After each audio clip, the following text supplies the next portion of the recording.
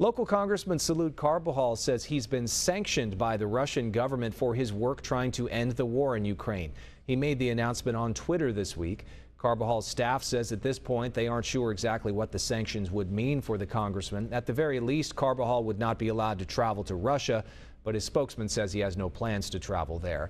Carbajal's staff expects to learn more about the exact parameters of the sanctions against him and his other colleagues in the House of Representatives.